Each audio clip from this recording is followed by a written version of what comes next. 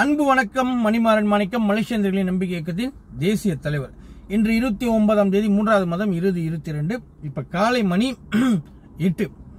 சரி இன்னைக்கு என்னதுக்கு இந்த காணொலினா அதாவது இருபத்தி ஐந்தாம் தேதி மூன்றாவது மாதம் இருபத்தி ஐந்தாம் தேதி ஒரு நாளிதழில் நான் படித்தேன் அதாவது என்னன்னா நமது மனித வள அமைச்சர் டத்தோ ஸ்ரீ எம் சரவணன் வந்து ஒரு அறிக்கை விட்டிருந்தாரு.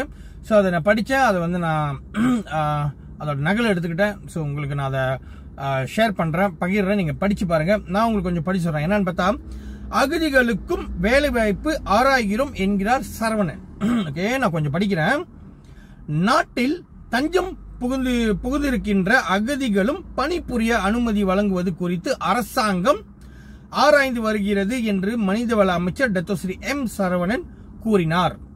இது தொடர்பாக வழிகாட்டி நெறிமுறைகள் வரையப்படுகின்றன. அதனை ஆய்வு செய்வதற்காக மனிதவள அமைச்சரகம் ஒரு சிறப்பு குழுவை அமைத்திருக்கிறது என்றார் அவர்.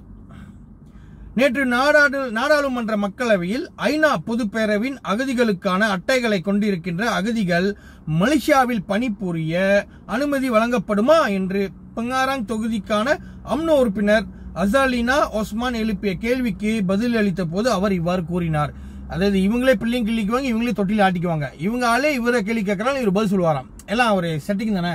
ஓகே நாட்டில் தஞ்சம் புகுந்து இருக்கின்ற இந்த அகதிகள் எந்தெந்த துறைகளில் பணிபுரிய அனும- அனுமதிப்பது என்பது குறித்து ஆராய்ந்து வருகிறோம்.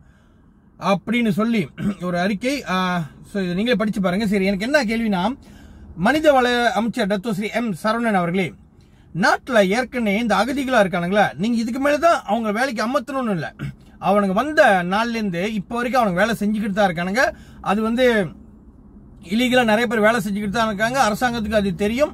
ஓகே அகதிகள்னா என்ன? அவங்க நாட்டில் பிரச்சனை நடந்தோன்னா இங்கே வந்து தஞ்சம் புகுந்துட்டானுங்க. அப்போ அவங்க நாடு திருப்பி சீராகிட்டான்னு திருப்பி அவங்க நாட்டுக்கு அனுப்ப வேண்டியதானே ஏன்னா அவங்க அந்த நாட்டு குடி குடிமகனுங்க. அவங்க நாட்டில் பிரச்சனைங்க அகதி தஞ்சம் புகுந்தாங்க. திருப்பி அனுப்ப வேண்டியதானே இப்போ இங்கே வச்சுக்கிட்டு இருந்தால் இது நமக்கு என்ன அதாவது நம்ம இந்தியர்களுக்கு என்ன ஒரு பாதகமாகும் நான் சொல்லிட்டா எதிர்காலத்தில் ஏற்கனவே இந்த அகதியா இருக்கிறவங்க பல லட்சம் பேர் இருக்கானுங்க. நீங்க நம்பலனா டாக்டர் ஸ்ரீ எம் சரவணன் அவர்களே ஒரு நாளைக்கு இந்த ஞாயிற்றுக்கிழமை வந்து இந்த சவுக்கிட் பக்கம் அப்புறம் இந்த கொத்தரையெல்லாம் இருக்குல்ல அங்க மஸ்ஜித் இந்தியா அந்த இந்த ஏரியாலாம் போய் பாருங்க நீங்க மலேசியாவில் இருக்கீங்களா இல்ல பங்களாதேஷில் இருக்கீங்களான்னு உங்களுக்கே ஒரு கேள்வி வந்துடும் அந்த மாதிரி இருக்கு நம்ம நாடு. சரியா? ஏற்கனவே இந்த நாட்டில் நம்ம இந்தியர்கள் மூணாவது இனமா இருக்கும். மைனாரிட்டி மூணாவது இனம். இப்ப இந்த அகதிகளா வந்தவனுங்க அவனுங்க பல லட்சம் பேர் இருக்கானுங்க. இன்னும் நீங்க வந்து பங்களாதேஷ்ல இருந்து ரெண்டு லட்சம் பேத்துக்கு மேல வேலை வாய்ப்புக்கு கொண்டு வர போற நீங்க சொல்றீங்க. அப்ப இது என்ன ஆகும்னா நம் இந்தியர்களுக்கு கூடிய விரைவில் நம்ம வந்து நாலாவது இடத்துக்கு தள்ளப்பட போறோம். ஏன்னா இவனுங்க வருவானுங்க கொஞ்ச நாள் வேலை செய்வானுங்க இங்கே கல்யாணம் பண்ணுவானுங்க அப்புறம் இவனுக்கு மைக்கார்டு கிடைச்சிரும். ஆனா நம்ம இனம் காலகாலமா பல வருடமா இங்கே வ- பிறந்து வளர்ந்து அந்த அடையாள அட்டை பிறப்பு பத்திரம் இல்லாம ஒரு குடியுரிமை இது இல்லாம கூட இன்னும் எவ்வளவு பேர் இருக்கும். ஆனா அவனுங்க சுலபமா அதெல்லாம் எடுத்துட்டு போயிடுறானுங்க. இப்ப அவனுங்க நம்மள கேள்வி கேட்கறானுங்க கண்ணு நேருக்கு நேரா விரல வச்சு நீ யாரா என்ன கேள்வி கேட்க? ஏன்னா அவனுங்க வந்து ஒரு முதலாளி ஆயிட்டு வரானு இவனுங்களுக்கு வந்து ரொம்ப அந்த சீனர்கள் சில முதலாளிமார்கள் வந்து உதவி செய்கிறாங்க ஏன்னா இவனுங்களை கூட வச்சுட்டு அவன் வியாபாரத்துக்கு எல்லாத்துக்கும். சரி இந்த நேரத்துல வந்து நீங்க உண்மையிலே வந்து சரியா செய்யணும்னா நீங்க அனுபவிக்க பழுத்த தலைவர். ஆனா நான் உங்களுக்கு அறிவுரையோ ஆலோசனை சொல்லணும் அவசியம் இல்லை. ஆனா இருந்தாலும் எங்களுக்கும் கொஞ்சம் மூலம் இருக்குல்ல. நீங்க என்ன செய்யணும்னா முத நம்ம நாட்டுல இந்தியர்கள் எவ்வளவு பேர் இருக்காங்களே வேலை இல்லாதனால தான் சில நேரத்தில் இந்த தவறான வேலைக்கு எதுவுமே சரி ஏன் அவங்க வேலை செய்ய மாட்டாங்க முதல்ல இதை ஆராய்ங்க. அவனுங்களை கொண்டு வந்து வேலை கொடுக்குற ஆராயாதீங்க. நம்ம நாட்டில் உள்ள இந்தியர்கள் இளைஞர்கள் அவங்களையும் வேலை செய்ய முடியல. என்ன பிரச்சனை? சம்பளம் குறைவா? இல்லை வேலை செய்கிற இடத்துல இன ரீதியான பிரச்சனையா?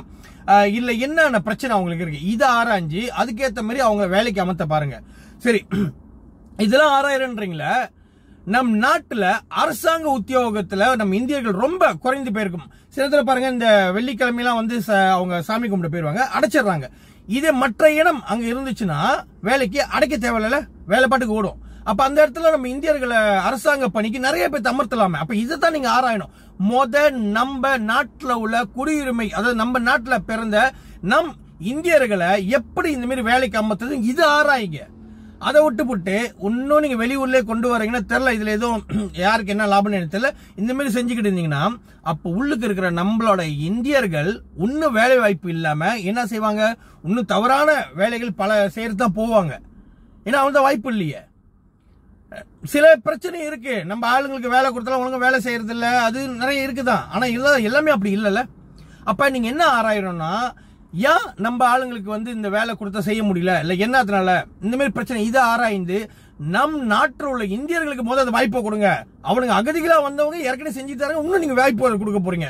இதுல இன்னும் ரெண்டு லட்சம் பேத்துக்கு மேல பங்களாதேஷ் கொண்டு வர போறீங்க. அப்ப கூடிய விரைவில் இந்த நாட்டில் பிறந்த நம் இந்தியர்கள் நக்கிக்கிட்டு தான் போக போறோம்.